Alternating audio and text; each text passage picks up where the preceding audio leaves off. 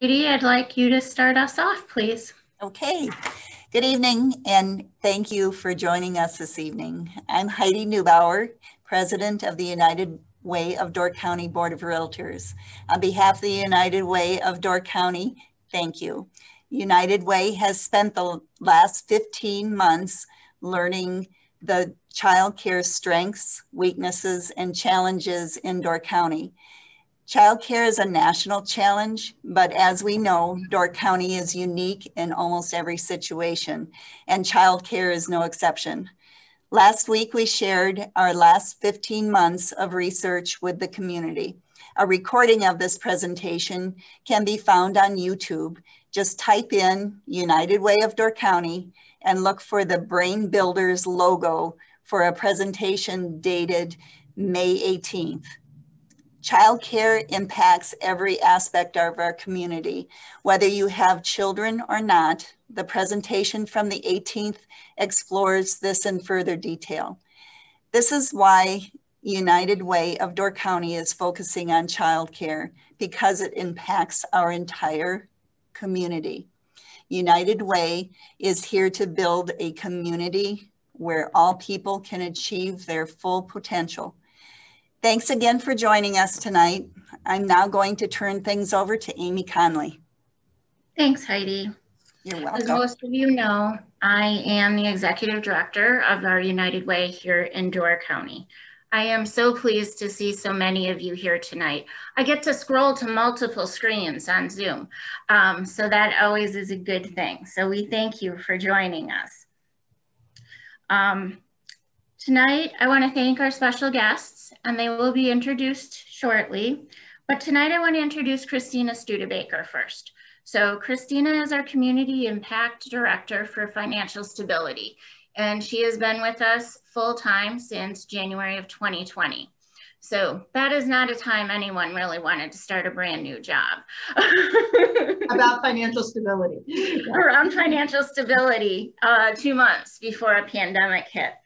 Um, but she hit the ground running. She did not let COVID stop her.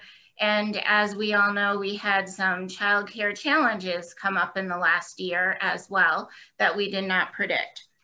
But she continued to move forward with this project and we are really happy to have everyone here tonight to share our work and to continue the conversation around childcare. Christina? Thanks, Amy. Thank you all for joining us. Before we go any further, I do want to take a moment and um, at least introduce our, our guests and recognize them. They, they're not being asked to comment on anything tonight, and we have multiple screens, but just um, in case anybody does want to say hello, we've got Senator Andre Jacque. Hello, uh, appreciate this opportunity. Uh, just mention, I, I uh, certainly have an interest in this area. I'm on the board of Family and Child Care Resources of Northeast Wisconsin, so we're very involved in the uh, provider assistance, the parent training, we do the home visits and uh, the YoungStar rating. Uh, I'm also on the board of the uh, Paul Van Handel Foundation that works to provide childcare opportunities for children with special needs. Uh, so I actually have another one of these virtual meetings and in-person meetings coming up in the Fox Valley uh, on June 7th. So, um, but appreciate the, uh, the opportunity to hear your ideas tonight. Awesome, thank you so much. And we have Representative Joel Kitchens. Yeah, hi. Um, thanks for putting this on tonight. And uh, I'm also just looking forward to the discussion. Great. And then um, from Representative Mike Gallagher's office, we have David Brooker. Thanks for having me. Looking forward to learning from you guys. Sorry, so I'm doing like dad duty tonight. awesome. So um, just some housekeeping issues before we get started. Uh, so we do have people who um, asked beforehand to speak during this meeting. So we have a list of them and we've given people time limits in order to allow everyone um, fair time uh, in order to speak. So I will be using a timer and once we get to the three and a half minutes, I will jump in and cut you off if you haven't already finished, just in order to allow everyone to speak in the time allotted. Um, we ask that you keep yourself on mute when you're not speaking. Um, if anybody does have a question for the speaker, the people from the community who are speaking, or they want an opportunity to say something if we have time remaining at the end, you can put a note in the chat box. And I think given that we have multiple screens, that is easier for us to catch than you using like a raise hand function or something like that. Um, also, our internet is a little quirky and your internet might be a little quirky. Um, if your internet goes out, you can jump back in and we will be watching the, the waiting room and we'll let you in. This is also being recorded. Um, what's a little trickier is if our internet goes out. and it does happen. And then Amy and I both go poof. Um, you guys, please go ahead and continue to make the most of our guest time. Um, those of you who are speaking, you have the list and we know that you can just forge ahead. There's absolutely not a reason to wait for Amy and I to come back in. We will come back in when we can. So um, I think we are ready to roll unless anybody has any other questions or anything. Or Amy, you think there's something else I need to mention that I haven't? I think we're good to go, Christina. Okay, awesome. So we're gonna start with the uh, next competitor in the cutest contest um, of the night. So we have Lauren Bry and her daughter Rosella. Lauren is a new parent. She's a young professional and um, she's a Southern Sturgeon Bay resident and I'll let her say more. Thank you, Christina, and thank you, everyone. And yes, Rosella is joining me tonight. Dad is in the chopper. Um, I'm Lauren, and my husband Jacob and I live south of Sturgeon Bay, Rosella is about nine weeks old. Uh, I grew up in southern Wisconsin and have lived here for seven years with Jacob. Uh, we farm with his brother and sister-in-law. We milk cows on our uh, farm here, and we also raise some beef cattle and grow crops. I do work off the farm full time for the Dairy Business Association and Edge Dairy Farmer Cooperative, um, as well as Farmers for Sustainable Food. And through my role with those organizations, I support farmer led conservation groups in the state, including Peninsula Pride Farms, which I'm sure um, you're all familiar with uh, here in Door and Kewaunee County. And I really enjoy my job working with farmers um, and then, you know, having our own farm here. And it's important to me to go back to work. But balance that with our daughter. I'm working to find child find childcare since we found out we were having a baby in July of last year. I immediately got on the wait list at Door Community Child Care Center as I heard it was um, a struggle to find childcare here. And between um, August of 2020 and today, we have been looking for childcare to try to figure out what we're going to do when I return to work in less than four weeks. So um, I'm just going to share a little bit about my story um, and the challenges. So once we got on the wait list at Door Community Child Care Center, I continued to look for other options in case we didn't get a spot. Um, luckily, my husband's family is from the area and um, knows a lot of people, so we asked around to people they knew. I joined some Facebook groups for moms up here, um, and I also even looked on care.com. It definitely was nerve wracking and it was a struggle at times because I was still working full time um, and we were busy on the farm and we were trying to buy our first home. Zella was going to arrive, I contacted at least four or five different people who did in-home care.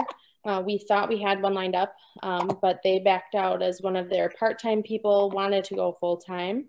Um, then I found another person who was going to quit her job to watch um, Rosella along with several of our friends' children um, and that was the route we were planning to go until a few weeks ago when she found out her job was going to give her insurance in the next year. So that option um, was no longer what our plan was going to be. Uh, luckily, I had stayed on the wait list at Door Community Child Care Center and was hoping for a spot in September when they said there would be more um, positions when um, the oldest kids would go to school full time. So that was still leaving me with a gap for two and a half months um, because I'm going back to work here in June. So through asking around and in a Facebook group, I did find a teacher who was willing to watch Rosella through the summer. their children and her own kids. It wasn't ideal, only option at the time. Um, I'm excited to share that today I got a call that there's an open spot at Door Community Child Care Center on June 7th, the week before I'm going back to work. So it's seriously a huge relief. Um, I mean, I just, I've been avoiding thinking about going back to work because I didn't want to think about what we were going to do because we didn't have anything lined up.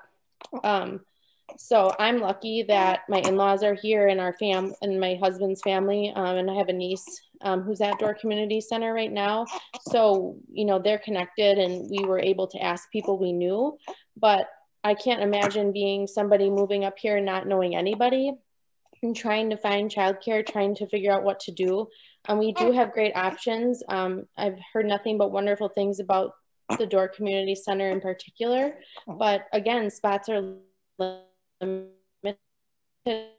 That was, um, you know, definitely a challenge. And with the young professionals group up here prior to having Rosella, um, I knew we were trying to attract more young people to work in our communities. So I think, you know, this is a really important issue and I appreciate everyone's efforts and working on this and recognizing it as a challenge. And I hope that we can all work together um, to find more options for young families and support those who do provide this really um, important service to all of us in our community um, so we can Thank help. you, Lauren. Thanks Sorry. for I feel like it's like some game show contest. Sorry. Thank you so much. We appreciate you sharing your story. Um, next, we have Corey McFarland. She's the Deputy Director of the Door County Department of Health and Human Services.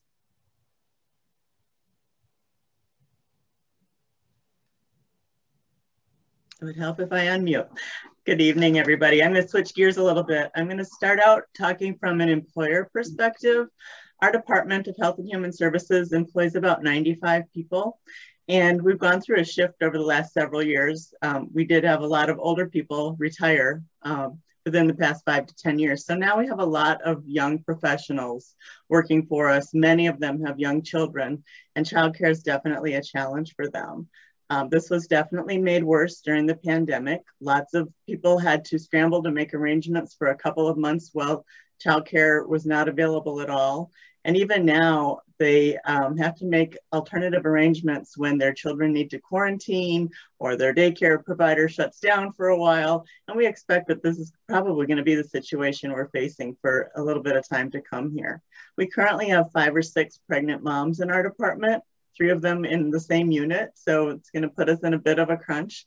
Every time somebody tells us they're expecting, we're of course excited for them, but we always wonder whether or not they'll come back primarily because of the challenges with childcare. And that's a big burden on an employer, um, large or small in our community. And some of our more senior employees have left specifically to stay home and care for their grandchildren because their kids had no other options. So our workforce has suffered because of that as well. Um, our department has made some efforts to try to increase the supply of childcare.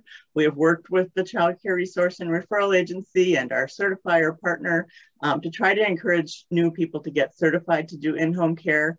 Um, we've had several evening and daytime events um, to provide information. We've offered to waive the certification fee, provide assistance, look for other kind of cash assistance to help us start up.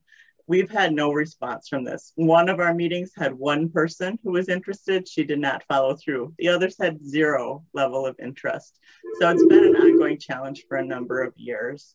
Um, and we really think that having a provider regulated um, really can help to boost quality. It, it's not to say that unregulated providers are not quality options, but having regulated providers gives us access to Wisconsin Shares funding.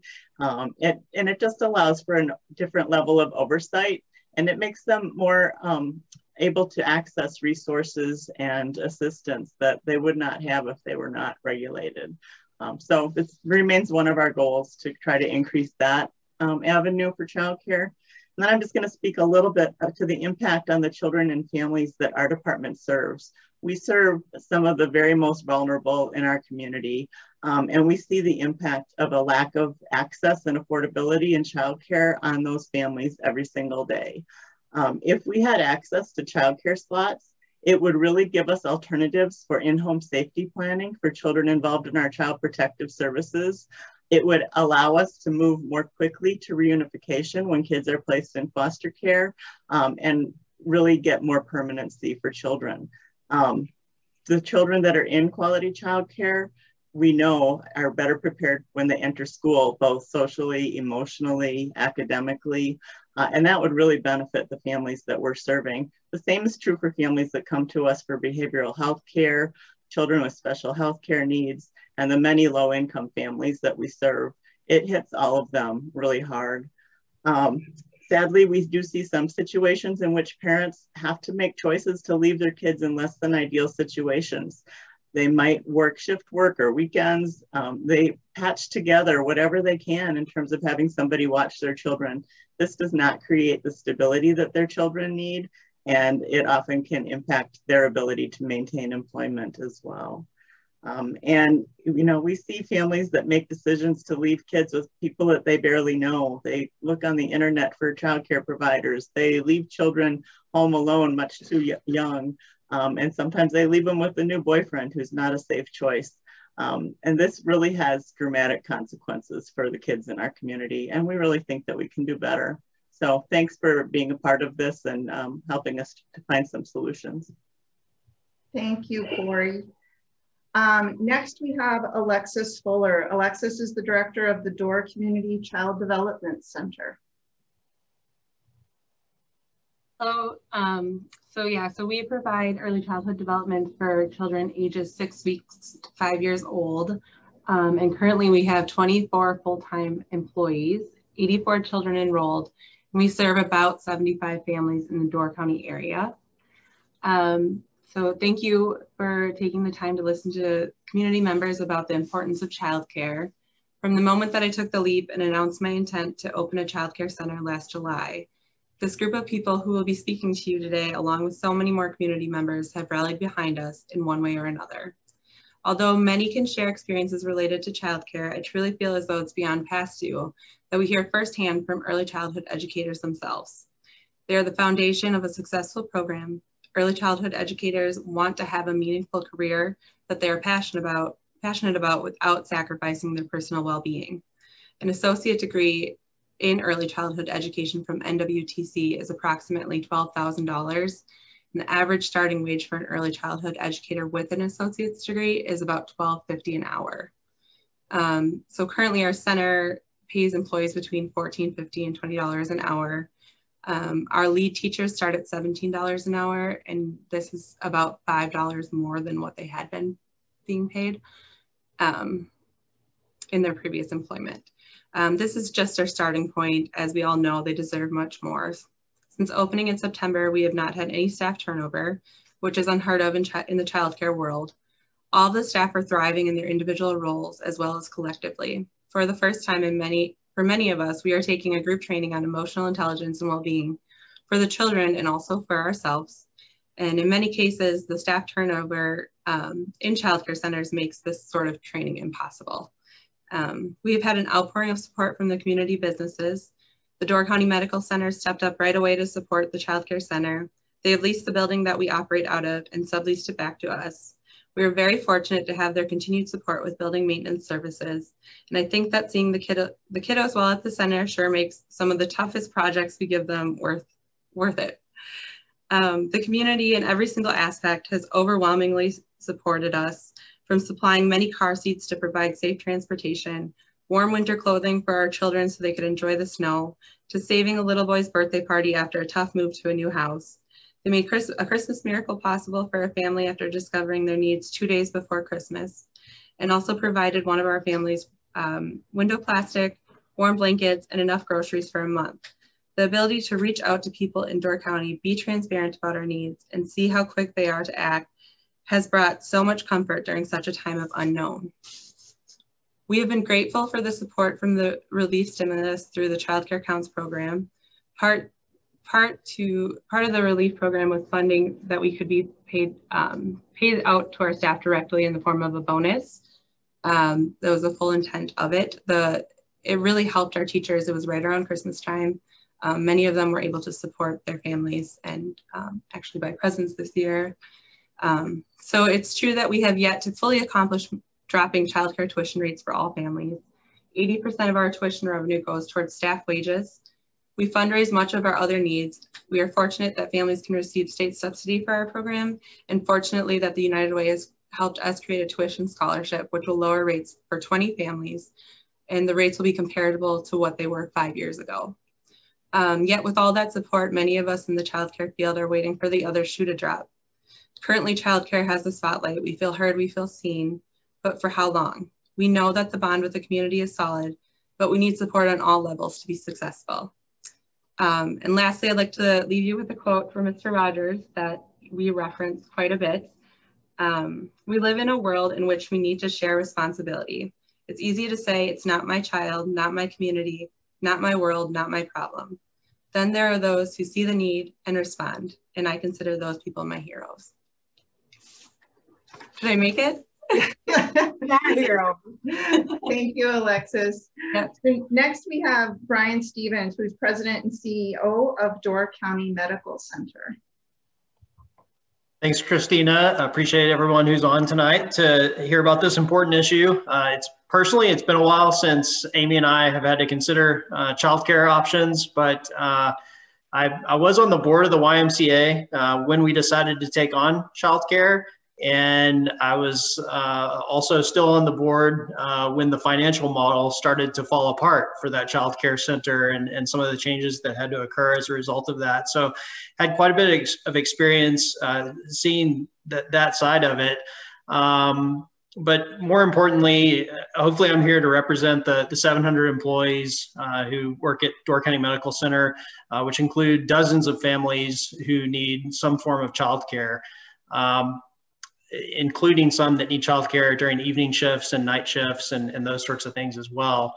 Um, during the pandemic, uh, we experienced some of the challenges that Corey talked about uh, with the daycare closing uh, at the Y for, for a time period.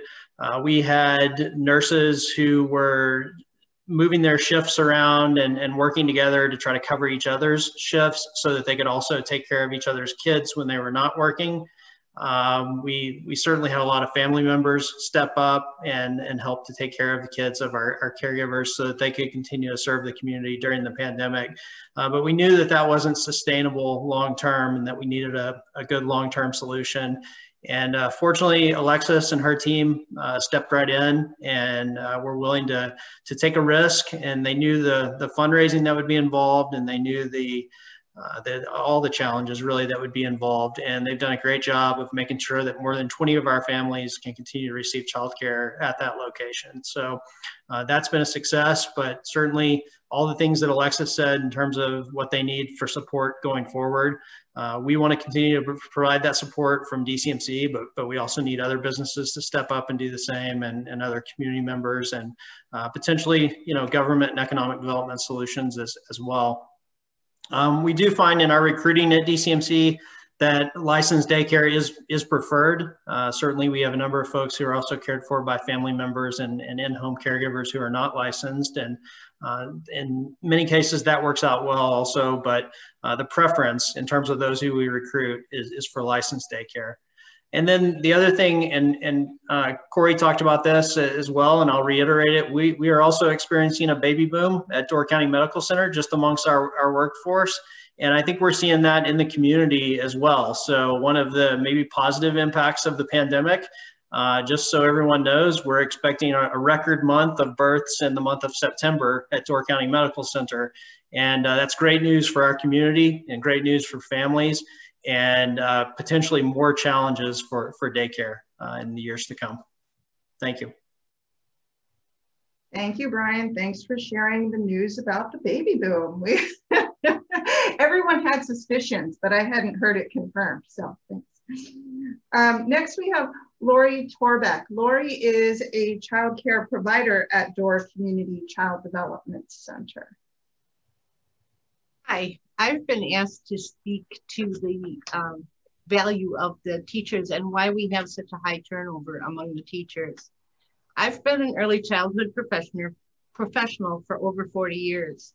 For most of those 40 years, I have sought worthy wages for early childhood professionals, including seven years as a rep representative of Wisconsin Family Child Care, in during which time we marched on the Capitol, we had parades downtown Appleton, we tried all different things we could to try to get um, the understanding from the legislators that that's why there's so much turnover from teachers is that their wages just aren't there.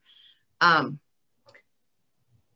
there, it, I've had 40 years of my family and myself sacrificing just so that I could follow my passion for children. I have 40 years plus of years of experience, a college education, as well as several professional certifications. And yet I now I'm making a reasonable wage, but until uh, Door Community, I was making just above minimum wage. So it's just not with with those kind of credentials. How many other professions do you know where people are willing to to settle for that? It takes a you know special people.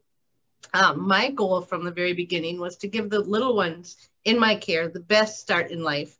I take my role very seriously. I teach them social skills, including communication using sign language before they can even verbally speak. Um, I also teach them to have empathy for others and how to solve conflicts peacefully. As the teacher of one-year-olds, it's more important to me that I teach them these social skills than it is academics at this age. Uh, these social skills are imperative to help them grow into successful and caring adults. Studies show that 90% of brain growth happens before kindergarten.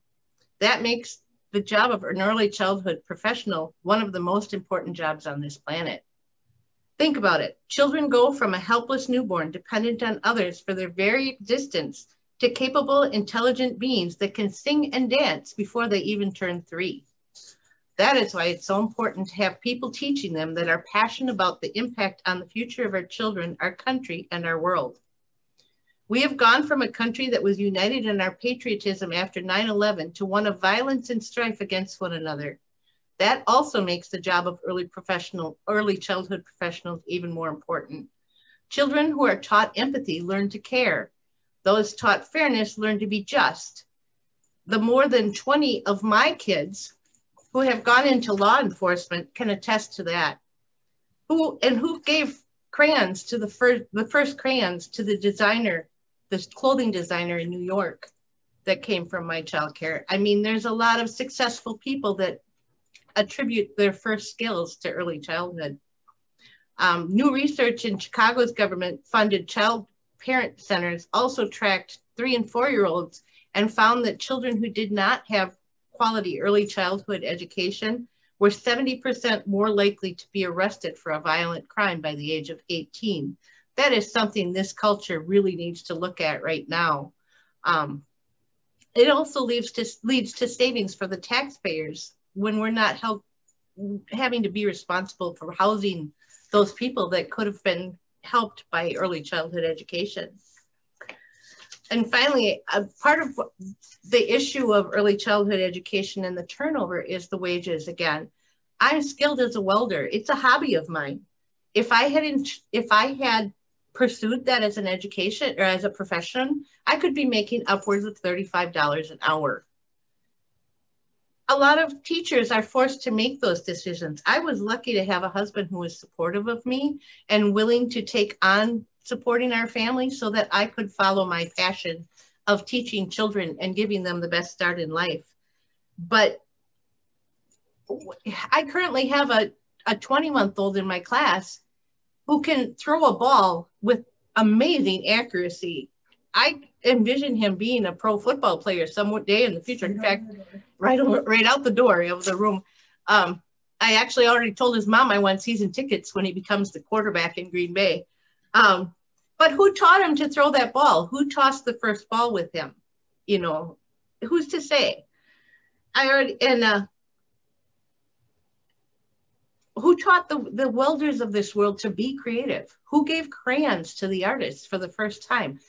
Early childhood professionals are very important, and yet we're very low in the pay scale. We do not make, and I don't do it for the money, but I, have two daughters that are now following me into this profession both of my daughters are now early childhood professionals. One of them works here with me at the daycare. And I want to see them in a world where what they do is valued for what they give to it, what they put into it. Thank you, Lori. I'm sorry we're out of time. Um, and I, I referred to Lori as a child care provider, but uh, in the introduction, but I agree, there are multiple terms. There are early childhood educators, that is just as appropriate, and um, a child care professional. I think those are, you. those words have meaning and they are accurate. And um, next, we're going to hear from Doug Marvin, who's a child care professional at Northern Door Children's Center up in Sister Bay. Uh, good evening, everyone. Um, my journey was a little bit different into childcare. Um, I originally started out in hospitality, and that's how I ended up in Northern Door County. Um, I did obtain a bachelor's degree in um, pre-K through six education. Um, and when winter rolled around and there's no work up in Northern Door County, then um, uh, I found a position at NDCC, and uh, that's when I um, kind of fell in love with working with the children. Um, I've been there for just about four years now. Um, I'm a full-time lead uh, teacher, um, and um, we actually just got great news today. Um, we just got bumped up in our pay as well. So that's uh, good news for us. Um, and um, but like uh, the previous speaker said that um, the wages were um, very difficult to live on. I'm a single dad with two boys, and um, we get by. And uh, I, but um, it's very difficult, and this is you know, just another uh, blessing for us because we've had so many since we moved to Door County. Um, uh, we found it very difficult in Northern Door County. It's very difficult to find housing. So um, we were moving from house to house. Um, and we were lucky, lucky enough, uh, actually one of my directors at the center steered us towards Habitat and uh, we got a habitat home last year that we helped build. So we were very lucky there. Otherwise, I have no idea, honestly, where we'd be living right now um, because the houses that we rent end up being sold. So, but um, so we were very lucky. We'd have to probably would have had to find a second job, I'm guessing, and struggle to pay for an expensive apartment. um, uh, cost of living is quite high, but I just, uh, I loved my position so much I didn't want to give it up. Um, so we get by. We have to uh, cut corners, obviously, but uh, um, we get by pretty well. And um, like I said, now we're going to be doing a little better. So, um, but I just love working with the kids, and um, I can't think of about going back to waiting tables or cooking or doing any of that stuff. Um, it's just, uh, I'm glad, I'm glad that we're getting a little recognition um, now, and it's really coming out that uh, early childhood providers are so important. And I don't know, I feel bad thinking uh, maybe a pandemic for that. Um, but that, you know, we really came to light in the pandemic when um, everybody was struggling.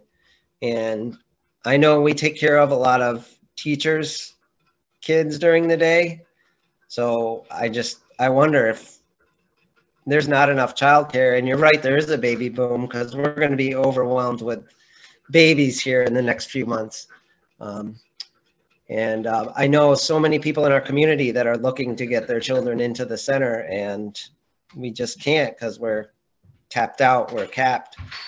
Um, so I don't know, maybe if maybe some of us need to branch off and open our own place. Like, I don't know how to how to solve that problem other than um, in-home providers or you know maybe opening a new facility in northern Door County somewhere. I don't know.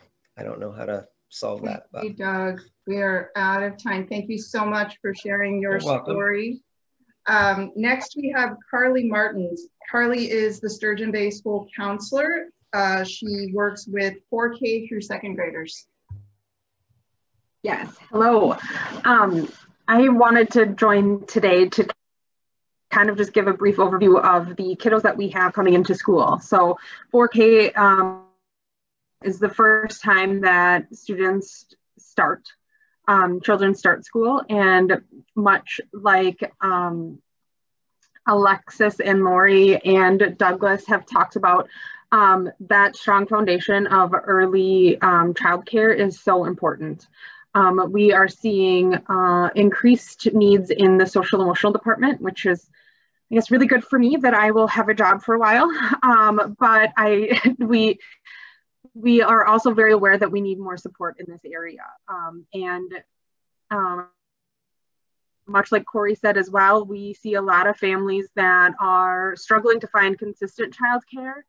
And so then they are left with a neighbor, or they are left home alone, or they are left um, with somebody that they found on the internet that they know nothing about. Um, and that can be very traumatic for children. And because of those instances and those times that they are staying in the inconsistent, then they struggle as they age as well.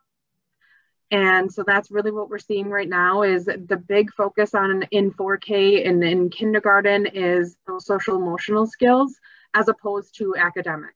Now, not saying that we don't teach academics, but a lot of the kids that come to us are not prepared for academics. And so we are meeting them where they are at, and we are meeting the families where they are at, and we are um, doing our best to meet those skills and um, support those families. And the more I um, work with these families as a whole, not just the students, um, I am realizing that Sturgeon, uh, Door County in general has some really fantastic resources for our families. We have a lot of support in a lot of areas. Um, which is great for families that are struggling. And I don't want those resources to go away by any means, but at that point, we're firefighting. And I'm wondering if, if, in looking at the child care concerns that we have in our community, if we can put more emphasis on the early learning, then we can be more preventative in our work, which is something that I am constantly striving to do is more prevention versus fighting the fires and working um, I can also speak as a parent. So um, I have two young boys as well. And we, um, my husband and I moved up here two years ago now.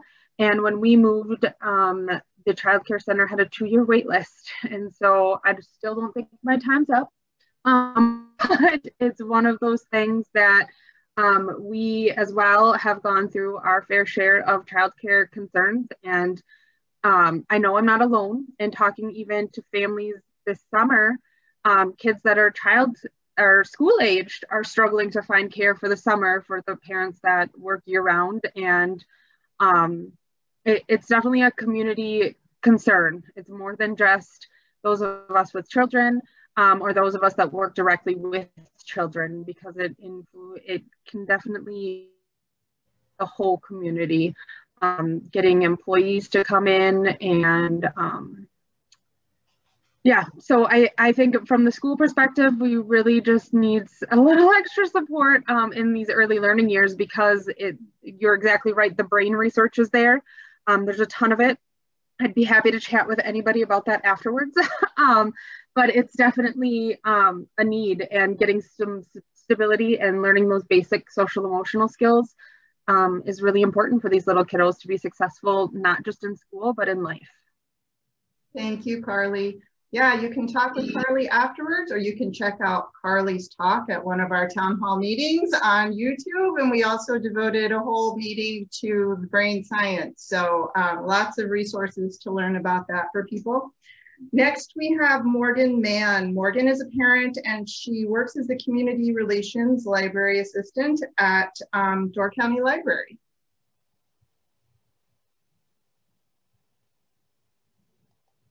Hello, thank you so much for having um, this forum. It's an important topic. Um, from the library's perspective, um, we have seen um, more kids being dropped off and um, the library being used as a daycare of sorts. Uh, specifically in different locations, we have eight branches um, as far south as Forestville and all the way up onto Washington Island. Of course, after school, it is a time when when kids come and it's completely okay to come to the library after school and that sort of thing. Um, but under the age of eight, um, we really, we require a guardian to be there. And there are some instances where parents will drop off children and, or the children will just come because it's a safe place. And we are required to um, have law enforcement or call other services to come and help um, have the correct guardianship with the children. So that has been an issue longer than this has been an issue. Um, I've only been at the library for about three, four years now.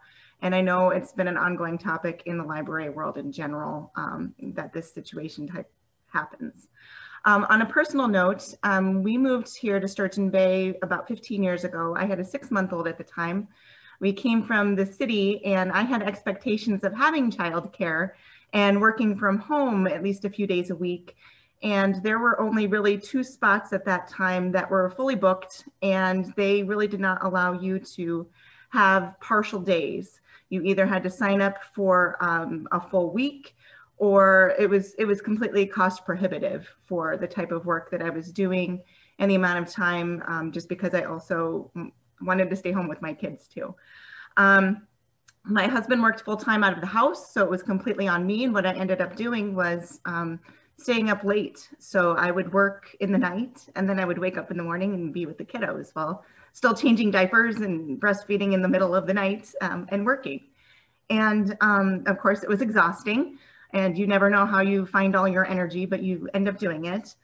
And I was lucky enough to have um, in-laws that could pop in from time to time and help, but they also worked full-time jobs and um, I couldn't consistently count on that to um, sustain my business in that way.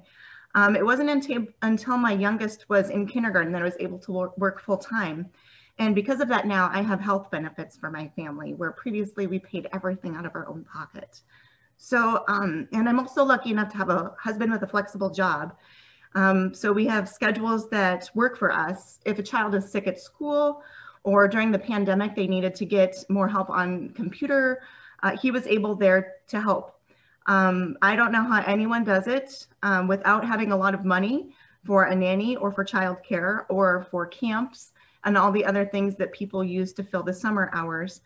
Um, many become latchkey kids and are responsible for themselves, or they have strong family support network that is able to and available to help. Um, if I would have stayed in the city, uh, my place of employment had a daycare on the lower level of my staff, uh, the building for the staff.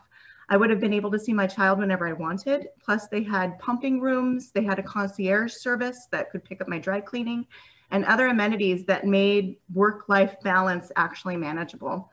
That was a consideration. I would say after the second child was born, we considered moving back to the city because it was just unsustainable to live here. Um, and uh, speaking from the standpoint of brain drain and that sort of thing, we were a young family. My husband's from this area originally. I am not from here.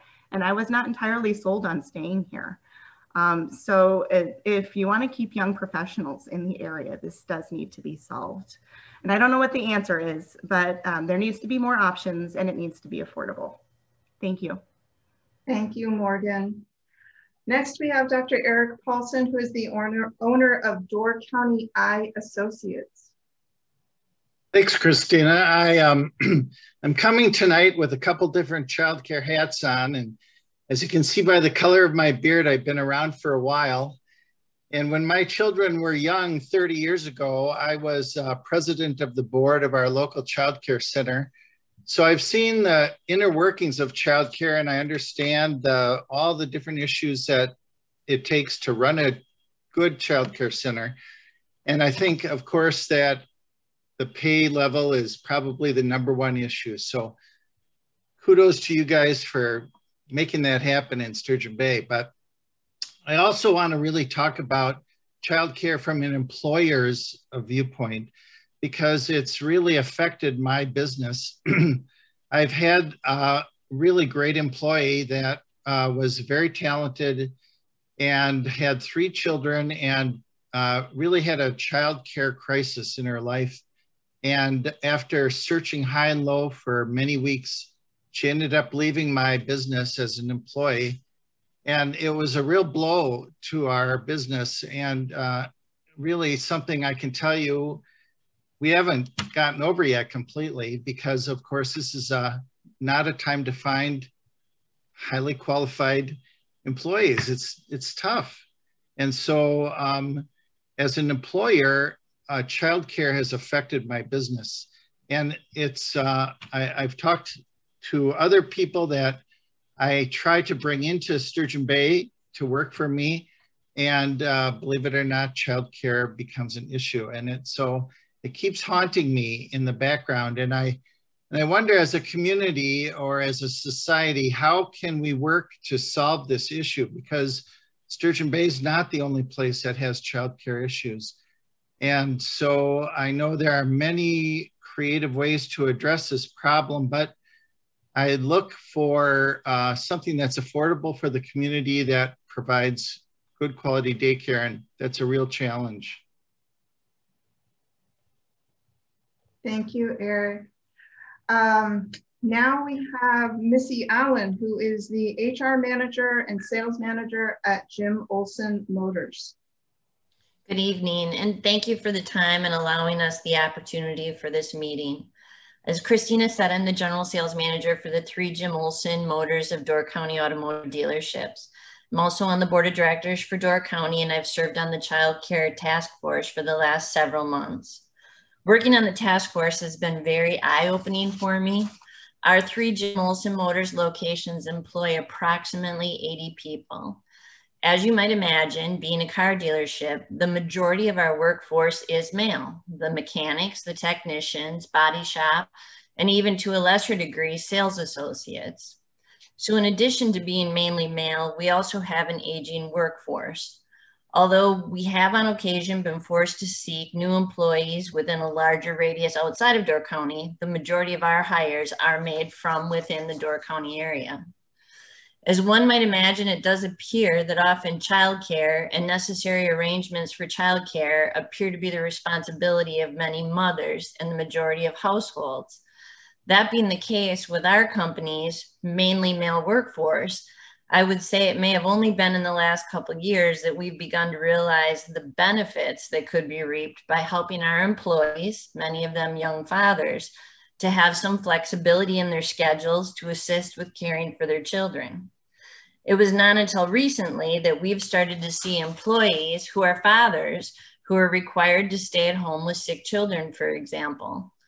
Much of this became more obvious with the onset of COVID and the number of days that children were required to miss school or daycare and stay at home with symptoms while they were waiting for their test results. My personal involvement with the Child Care Task Force, as well as my personal experience with my own seven grandchildren, have helped me to have a better understanding of what our employees are often going through. It's allowed me to have better conversations with employees surrounding flexible work schedules and accommodating time off. However, the one constant that I see in our employees' stories is their pursuit for childcare. That it's hard to find providers. Frequently, families can be left questioning the quality of care their children are receiving each day and lastly, that at least unless they can find a grandparent or other close family member who's willing to provide childcare for free, it's often too costly if they even can find the childcare in Door County. These family conversations can frequently become about a parent no longer working outside the home, perhaps needing to reduce work hours, or even requiring a grandparent to retire early to help provide the daily care that's needed. It frequently occurs to me that flexibility of scheduling or understanding of missing work to care for sick children is a very, very small part of what our employees' families really need in the area of childcare to be able to continue to work in the Door County area. Door County needs to be able to offer some help with the availability of high quality childcare at an affordable price for our workforce to be successful. Thank you for your time. Thank you, Missy. Um, next, we have Miles Danhausen, who's also a new parent. And Miles, we want to know if you've got him stuffed in the back seat there. Uh, and he's also co-owner of the Peninsula Pulse. Uh, thanks, Christina. Um, no, Connor is not in the back seat of the car with me here. I was uh, I was a little late trying to coordinate pickup today, so I'm sitting on the side of the road by myself. Um, as you said, I am co-owner of the Peninsula Pulse, and I work for the Peninsula Pacers, an event company, and I'm also the president of Write On Door County, so of the board of directors there. So I've seen this issue um, from an employer standpoint with many new parents in our office, um, even with our event company of people trying to work part time to try and cobble together work for us. And then also as a nonprofit director, we've dealt with this, and it, it's really difficult with a small nonprofit to try and help your nonprofit exist while you you have somebody who has a young child. Um, but I, a lot of business owners here have talked about it from the employer perspective. So I'll tell a little my story. Um, when my wife and I finally got uh, pregnant, we, after the stress of uh, a struggle to get pregnant, we immediately moved into the stress of what the heck happens when we need childcare. And we got on the wait list at Northern Door Children's Center. We live up in Sister Bay we got on that wait list as soon as we knew we were pregnant. And that was at the behest of many friends who said, get on that wait list and get on now and call them often and keep checking in. And you kind of plead your case as a, a prospect, a parent prospect to be part of the community. And you almost sell yourself like, hey, we're going to be full time. We, we're going to sign up for five days. We're in. We're, we're going to have another kid. Like you want us in here um, to try and make sure that that you're making the best case possible we both work full time. My we my wife has a pretty demanding job and needed to be able to to get back to the office and ready to go at the three month point. Um, and and we recognize we're incredibly lucky that she had even the three months of leave. Um, we looked at hiring a provider in home because we couldn't confirm that we were going to get into Northern Door Children's Center. Um, so up to two weeks before she was going back to work, we were still juggling whether we were going to be spending 15 to 20 dollars an hour to hire someone to come into the home or try and cobble it together with um, other employers or, or, other employees of mine and try to split a, a nanny or a daycare provider of some sort um, it was pretty stressful. And then we got the call that we were in indeed at northern door children's center. And in part of that we moved to the front of the line. A lot of people wait three six nine months to get in um, I think COVID helped us because a lot of my friends dropped off the list and just people left their job to be a stay at home mom or a stay at home dad. So it opened up slots for us. So COVID worked out really well for us from a daycare pr- perspective, um, terribly in pretty much every other aspect. Um, there was also my wife in the post pregnancy period, she ended up having multiple surgeries post pregnancy, uh, post birth. Um, and she was fortunate enough to be a, a, strong advocate for herself for medical care and persistent to um, get the care she needed. And I, the reason I bring that up is because when um, when my brother had his, my, I have an older brother who just had his first child. He lives in Brussels, Belgium. Um, always have to be clear on that. But the stress of pregnancy wasn't there for them. They had they didn't have to worry about the finances of having the child in the first place. After birth, his wife has mandatory physical therapy. And in the second day after they got home, I called him on FaceTime and they had just got the, the first home visit from the nurse who comes to check in and see how the wife is doing, make sure everything's healthy there, that she's doing her therapy, and that the baby is doing well. And you compare that to the experience we had, where you have to be a strong advocate to make sure you get the care you need so you don't end up with a surgery down the road.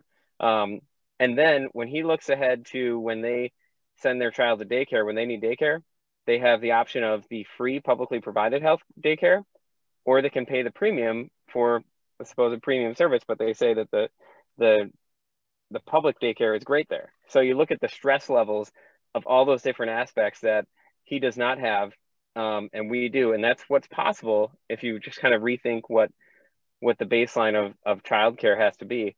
Um, and then lastly, I'll say that every day I drop my son off at Northern Door Children's Center, and when I do, the the person who comes to the door, every person, including if it is the director or the uh, the second in line or the, the number two at the children's center, all of them, based on their own income without a spouse's income, would qualify for the subsidized housing that's going to be built right behind the front doors of that center. So that is what we are paying the people that we are leaving our kids with every single day. Even the directors of that place would qualify for subsidized housing, which which is really eye opening, I think, to the the root of the problem when we talk about turnover and the availability and affordability. Thank you, Miles. Uh, next, we have Alexis Hein Peter, who's also a parent. She works for the DNR and she is also a Door County Board Supervisor. Good evening, and thank you again for listening um, and having us here tonight. Um, my family chose Door County about four years ago as a place to live, work, recreate, and raise a family. Almost two years ago, I decided to apply for county board because I don't want another family trying to start out here to go through what we had to go through for housing and childcare access. Being a part of United Way of Door County's discussions for the last 15 months, I've learned our experience was one of the more mild ones. We started applying for childcare centers six months before we needed it. We were new with no family in the area and no connections to the in-home network. In March, uh, before I went back to work in April, we were accepted to Northern Door Child Care Center. We live in Sturgeon Bay. So three months later, nine months after we applied, we were accepted to the Barker Center at the time. And for a family logistics and to alleviate the 80 minutes a day my child was spending in the car, we decided to transfer centers at that point. I will, I had to turn my camera off a couple times because I got so emotional. I apologize. So pardon me. Um, I will never be able to fully express my love and appreciation for the experience, education, love, and sense of family that we have had at both centers in the county. I will also never fully recover from the frantic stress and trauma of the unknown I was bringing my child into.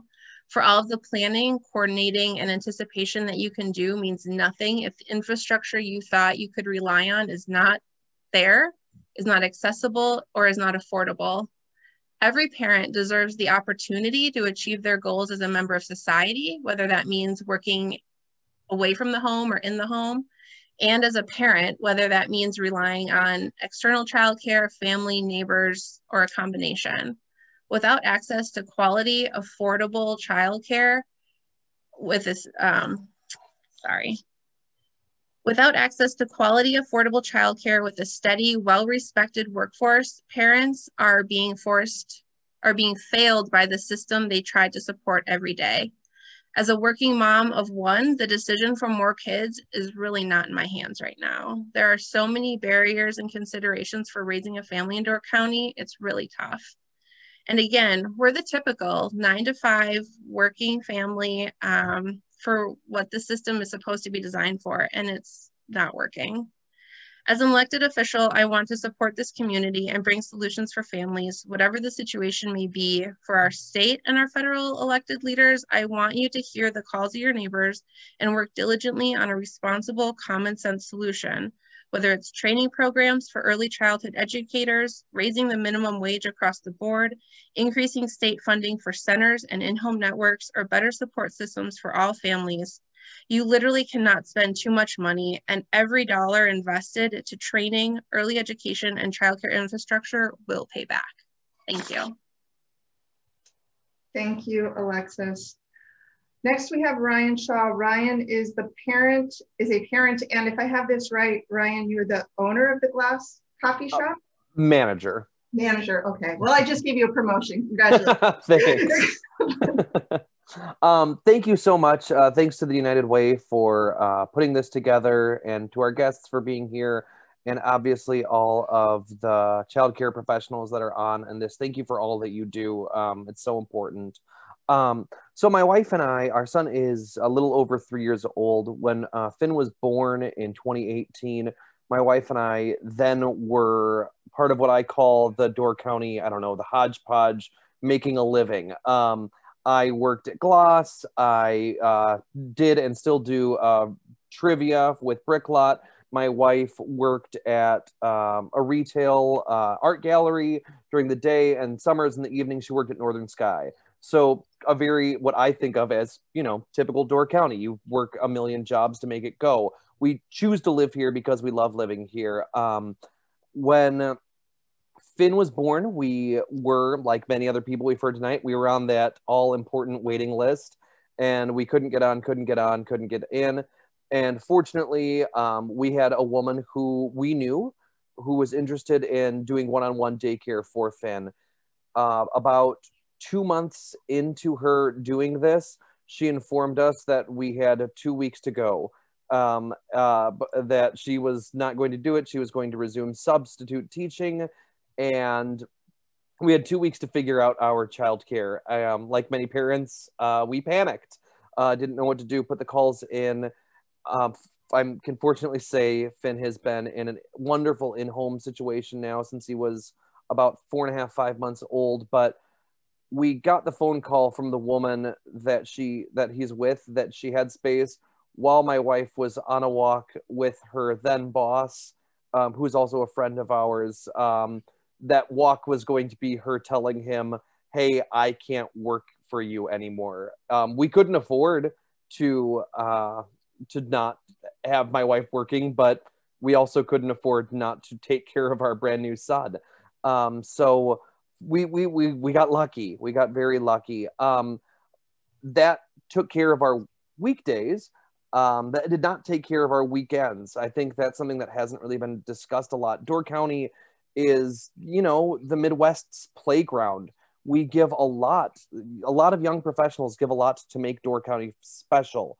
Your people who are serving you, your people who are making your drinks behind the bar, be that coffee like myself or drinks after a long day of hanging out and having fun in Door County, those people need support too. That's on the weekends. That's on nights. That it's a unique problem to Door County, being what we are. We are a tourist destination. I, I there was a lot that was just made of Door County yet again being called the Cape Cod of the Midwest. We can't have that if we don't find ways to support people who are working on the weekends, which we have to have. So that's our big problem that I see is um, our weekends. Fortunately for us, um, my wife made a career transition. She works uh, for the Sturgeon Bay School District now.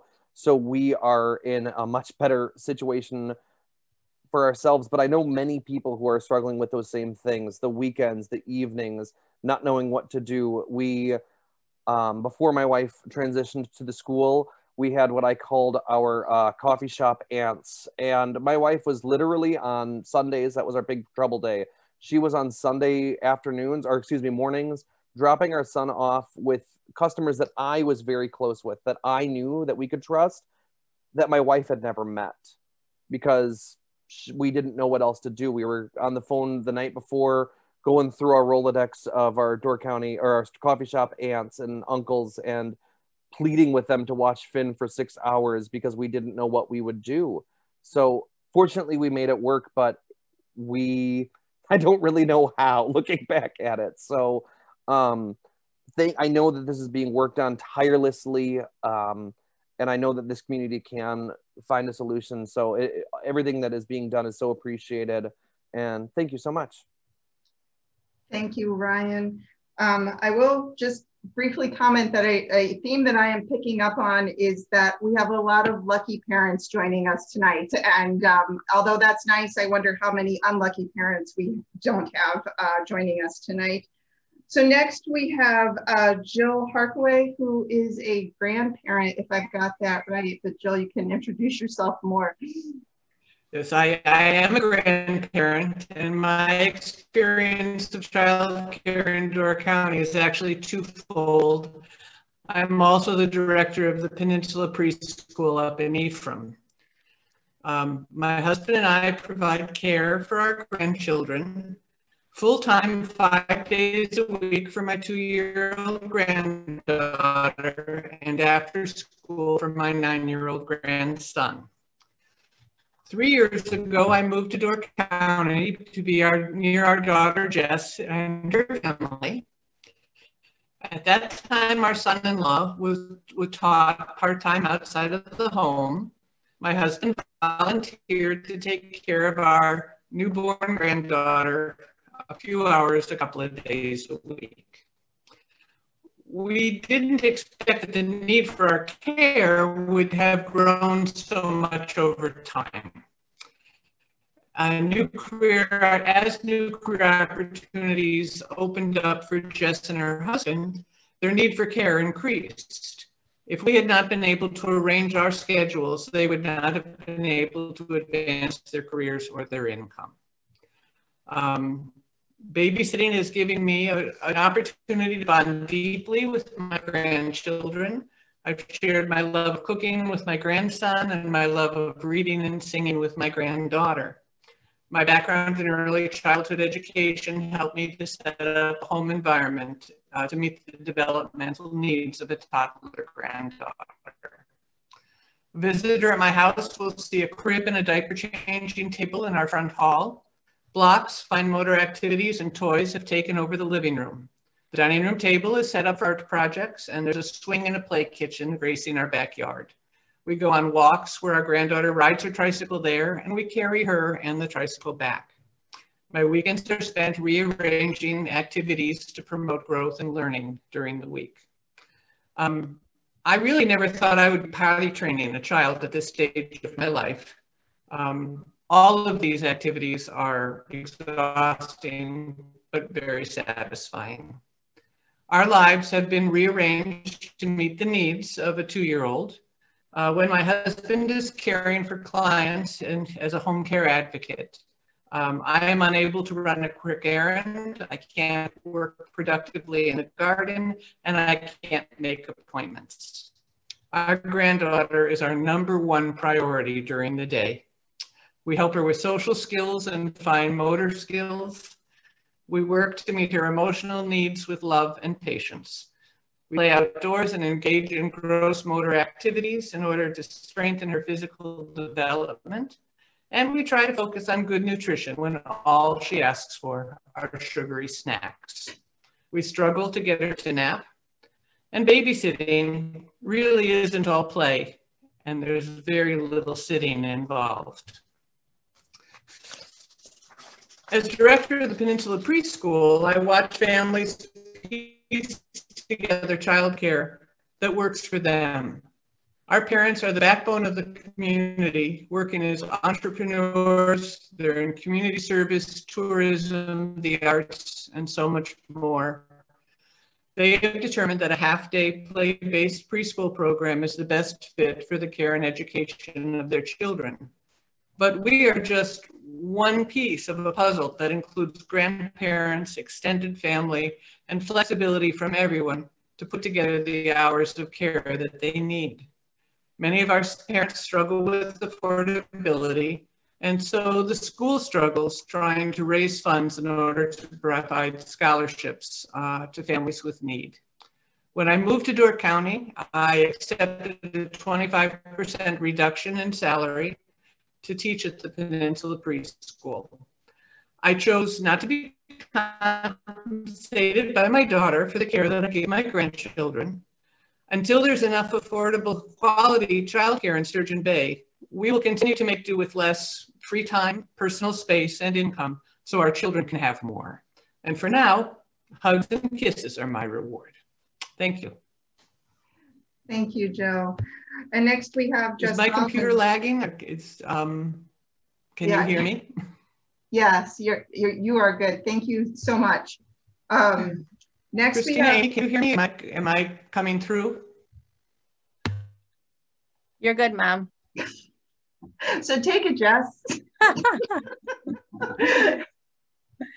yeah, so I have to follow all those nice things that my mom just said, which is giving me all the good feels. Uh, but I'm a social worker. Um, I'm on the school board in Sturgeon Bay, and I'm a gigging musician. Uh, like my mom said, my my husband is an educator, he's an artist, and he owns a fly fishing guide company. So um, we're busy with professional pursuits, um, but that's partially because we had to hustle um, to make a schedule that worked for our family for a really long time with a lot of part-time jobs um, that fit about around what was available for childcare and what we could afford.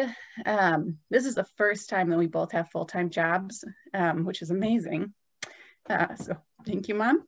So part of how we got here though, um, I have a nine-year-old son, Everett, and a two-year-old daughter, Nova, that keeps my mom uh, from sitting down during the day. Um, so when I was pregnant with my son, my husband and I were too green to understand we had to look for daycare really before he was born.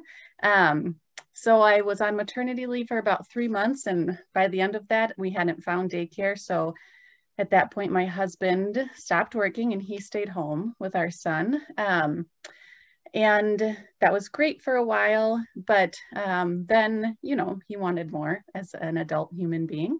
So we, um, he went back to work, but only part-time because we could only find part-time childcare. There was a wait at the Barker Center. So we had some friends that were really generous um, and watched our son um, and gave us a really discounted rate.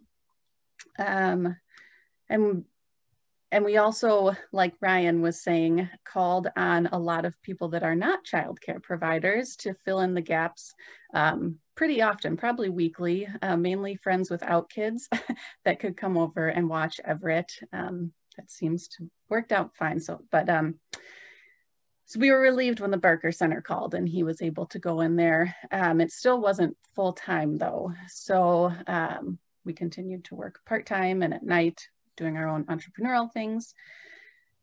When I was pregnant with my daughter, I knew to call the Barker Center earlier. So um, I was due in September. I called late February and we were put on a wait list and told essentially um, in a really nice way not to hold our breath. Um, so we called and checked back a couple times, um, but as the, my due date approached, we got really desperate because there wasn't any childcare.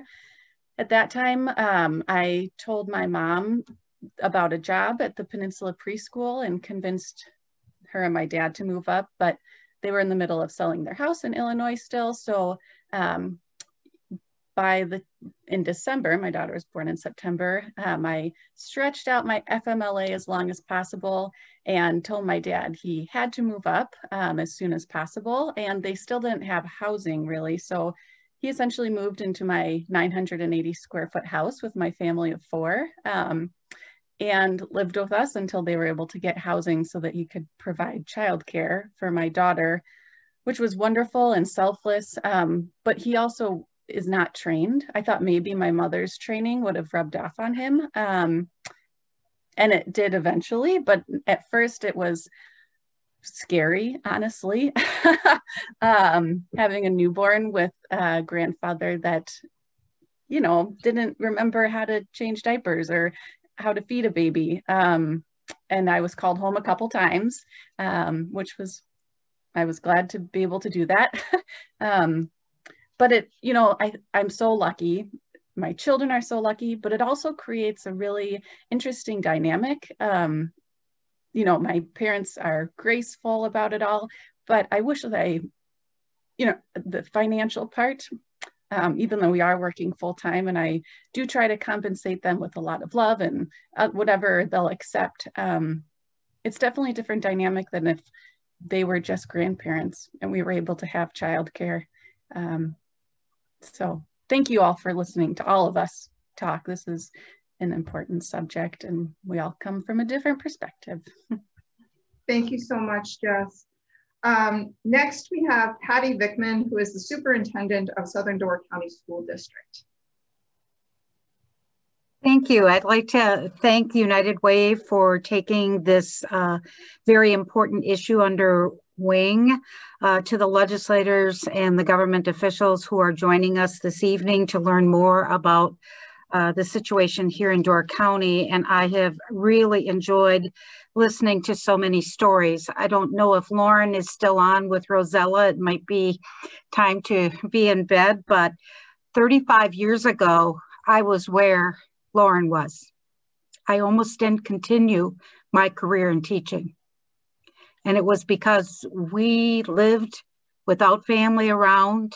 And were it not for the YMCA deciding that if they could expand for three more babies, that I was able to have my son be in childcare. And I think about how different my life would be if I had not had that support from the community coming forward.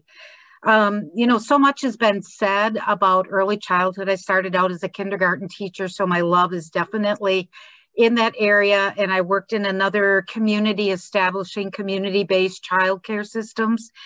And but it really takes a village. It takes everybody coming to the center with a common focus on we need to do this for our community. It, it takes our employers working together as you heard um, the lady from olson talk about. It takes grandparents coming together it takes schools um, it takes parents it takes flexibility it takes lots of things we don't have much in Southern Door for high quality childcare. We have a very small childcare center that serves a very limited amount. Uh, otherwise, people are having to go to Luxembourg, uh, to Green Bay, to Sturgeon Bay uh, to find childcare. At school, we've had to put in a before school program because we have parents who need to be to work by 7.30. And so we need to open up our doors and have staff on site to have something in place for seven o'clock, especially for our youngest uh, children. That's the school age children. Um, we wrote a federal grant and have a 21st century community learning center. That is every day after school from 3.15 to 5.30. Again, we needed to do that because we were having parents have difficulty with childcare. My bus drivers will tell you that on a daily basis, parents have their work schedules changed and they need to drop kids off for childcare at grandparents' houses, at uncles and aunts' houses, at a neighbor's house because something has changed in the life of the parent and they're unable to be home at their usual time. You know, there's lots we can say about what happens with brain research. Nobody can argue that. And about the difference when a child grows up in a nurturing environment that fosters literacy and vocabulary development.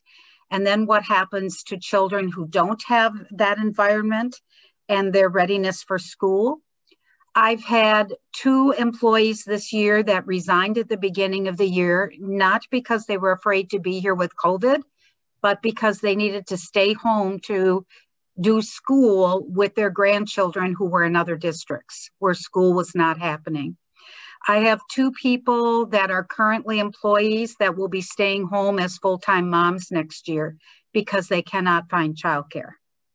Um, it has limited our substitute pool because substitutes who may be retired teachers, um, as I think someone said, they were able to find a teacher to take care of their children during the summer.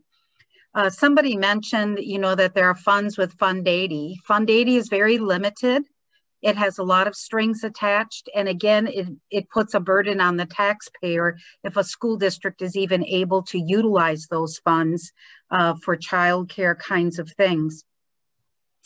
Today, I had a middle school principal tell me that she has a sixth grader who is not excited about summer beginning. And when she talked to the sixth grader, it's because the sixth grader will now be in charge of all the other children at home this summer because mom works in the service industry.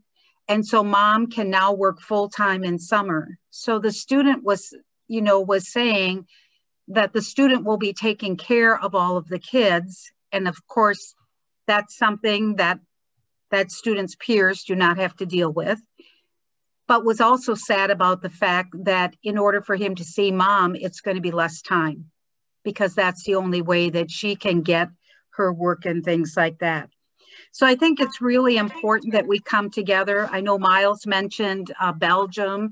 There's lots of the other countries. We even have some states where a greater emphasis has been put on early childhood education and the importance of us providing that kind of assistance, whether it's the child care wages, uh, whether it's the training or whether it's coming together and establishing cooperatives or consortiums where we are creating new child care centers. You know, the science is very clear.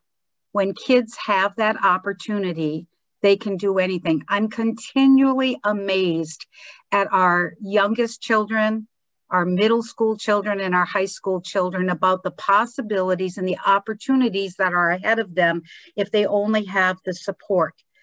But when families are stressed, children experience that stress and it then affects them in their mental health, in their ability to thrive as well.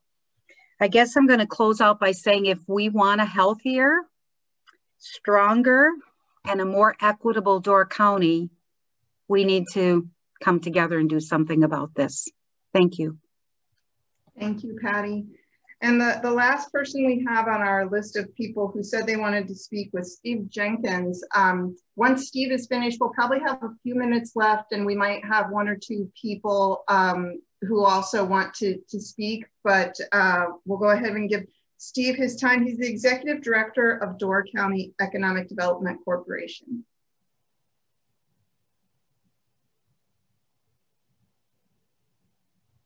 Thanks, Christina. Good evening, everyone. I know we're toward the end of um, this wonderful time of sharing.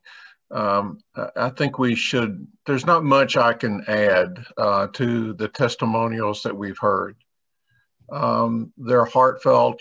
Um, at times they tug at your heart. I'm going to kind of give you an overview, though, as an economic developer, why childcare is important and why we um, work closely with United Way on this issue. There are three, and, and you've heard me say this before, some of you, there are three new infrastructures for economic development. Broadband, and some of you experience not having good broadband service tonight. Um, affordable housing, and then childcare. Those are the new infrastructures for economic development and many times they're interrelated. Uh, one of the things that really touched me tonight came from Douglas talking about here's a dedicated child care provider who's caring for our children. He shouldn't have to say, I could get by. He should not have to say that. But many do because they're dedicated professionals and they deserve every bit of thanks that we can muster for them. But he and others should not have to say, I get by. And at the same time, as a, as a community, we should look at our priorities in terms of what's important for our future. These children, as mentioned, uh, early childhood learning is so critical to setting a path forward for these children and therefore establishing our community as a prosperous place to live. You know, I've, I've seen childcare in my 46 years discussed the same way. It's been around that long, and we've been kicking the can around trying to find solutions, but we keep using the same approaches, hoping that it'll just get better. A little more of this or a little more of that will make it better. I think there is a point in time when we say we have to look at this in a different way. Dr. Paulson mentioned we have to look at creative solutions. And I totally agree with him. I, I think that otherwise we continue to hope that the future will be better if we just tweak it here or tweak it there, or we or we do something uh, instead of looking at it in an innovative uh, way of saying what can we do as a community to make this sustainable, affordable, and highest quality? Because that should be important to us as a community. Those children at those ages that we've been discussing tonight are our greatest resource. Yet we, we underpay the very workers that have to work with these children help them to learn, give them the skills that are necessary. and we're, we're just, our priorities seem to be in the wrong place. It's time to change that. Thank you, Steve. I'm sorry, I hate to cut you off, but. Not a problem. Uh, Joel said he would like to speak and I want to make sure that we leave time for that. So, um, Joel, do you want to go ahead and take the floor? Yeah, I'll just speak very briefly. Um, you know, I, I went through the childcare thing with my kids many years ago. In fact, Dr. Paulson and I, I think our daughters were in there together way back. Um, we had our challenges, but certainly the, the shortage wasn't as severe back then as it is now. But one thing that hasn't changed is that back then I was always in awe that they were able to find these highly qualified professionals knowing that they, they were not making very much money. You know, the economic model, it's just, it, it doesn't work very well. and it, it never has really. Um, you know, a lot's been said, and, I, have been involved in education a good bit. I was on the Sturgeon Bay School Board for a long time, and I've been the vice chairman of the education committee for four sessions now. Um, the, the stuff that was said about brain development is, is certainly true. I mean, we know that that if, if kids aren't in a, in in an environment where they're stimulated, by the time they reach third and fourth grade, they, their brains have not developed, and, and they're and they may never catch up. So I think there, you know, we understand that that we need to be reaching kids earlier. When I was on the school board, I, I formed the committee that started four-year-old kindergarten in Sturgeon Bay, which we wanted to do to reach people, kids earlier. But the downside of that has been that with four-year-old kindergarten, then then all day four-year-old kindergarten, and now they talk about three-year-old kindergarten. It also really damages the the, the child care centers you know, economically. So uh, you know we have to find that balance. Um, I think that there is really a place for all of us in, in coming up with a solution to this.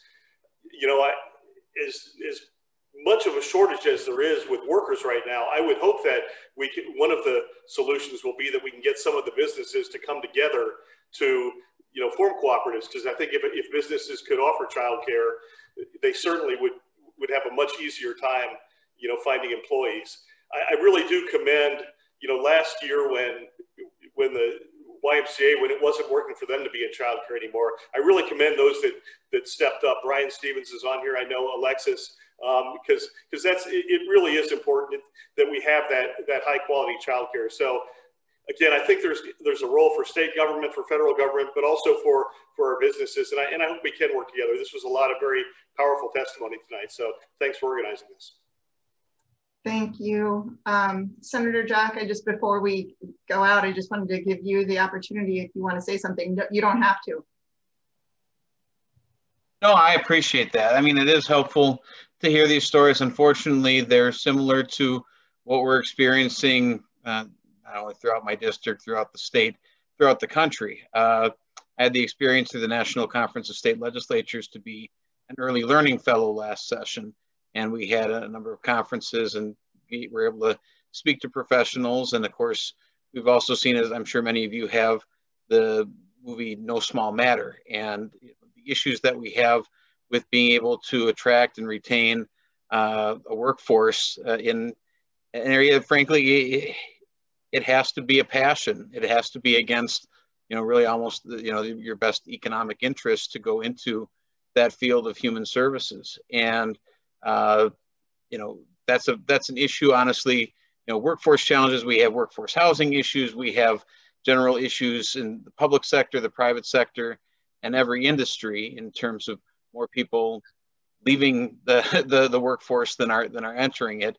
Um, but then, how do we, uh, you know, really help those that are that are in it, as well as you know, then the the challenge is not just, as I said, there's kind of more the the niche challenge of how, how do you even start to try to help those that have children with special needs? And how do you help those that uh, are on various forms of public assistance that have childcare that are potentially going to lose it if they try to take any sort of position or, or opportunity to increase their, their family revenue? Um, and quite frankly, you know, a lot of the work that I've done uh, legislatively in the past deals with how do we try to eliminate some of those disincentives and benefit cliffs. So uh, there's no easy answers on this one, although there is more attention, and it is something where, uh, you know, I, I, think we have some legislative attention on this. Uh, I, I, I, think we're moving in the right direction from a policy standpoint, particularly within this budget in terms of how we we change uh, the way that that some of those child care funds are spent, as well as an influx of some additional dollars. And and part of that is the the birth to five uh, funding that uh, the state is qualified for, and part of that is uh, you know the other the other federal funds that are available and funds that we have the, the chance to invest uh, just from the state being in a, a better budget situation. But uh, you know certainly this is this is an area that uh, you know it's a it's a priority. Unfortunately, we have kind of that chicken and egg situation of you know how do we help you know especially as a lot of childcare centers did go out of business with the, the, the pandemic and how do we encourage people to to come back into that profession that have now found higher paying jobs elsewhere and uh, you know right now there is such fierce competition in the workforce um, you know and, we don't have you know, until that baby boom that that Brian was talking about uh, hits the workforce in in 18 years, we're going to have some struggles. So, um, you know, hopefully there'll be enough. But um, and I just see a comment here about eliminating disincentives, and I, I have uh, listed some some graduate students too on on how we can deal with some benefit cliffs. There's a a state representative uh, that's been working with NCSL as well on on that. So would love to work with you on that. And uh, I, I, know we're kind of past the end of our time here, but uh, no, certainly uh, I think that there was, um, you know, just a, a, lot of value in getting us all together to discuss. thank you so much. Yeah, that, that is a great um, transition because number one, we, we thank you for listening to us. Um, I thank everyone for coming together and making time tonight to share your stories. Um, it's amazing how many different stories uh, were shared within the hour and a half, but there's some similar themes. Um, we know times are, are challenging in some ways. Um, the industry is facing the same challenges they did 35 to 40 years ago. It's kind of sad. Um, definitely shows that we do need some innovative new solutions, as Steve said. And we know that working with our elected officials is definitely going to be required in order to achieve some of those solutions and make a difference. So we thank you so much for meeting with us tonight. We look forward to continuing conversations with you. Um, of course, you know, come back anytime as things open up and we're able to meet face to face. We would love to continue these these conversations and everyone who is on the, the call, this work continues. Um, so if you want to get involved or just follow what's going on um, with the work that United Way is doing, but it is, we're just convening the larger community um, because we know it's so important and we're happy to serve that role. But it does take the community. That's how um, everything has happened that we've achieved in the past 15 months. So reach out to me and Amy to talk about that. Um, once again, thank you all so much for your time. I will happy to hang on the line for people who want to talk more, but otherwise um, we'll call it an end to the evening. Thank you very much.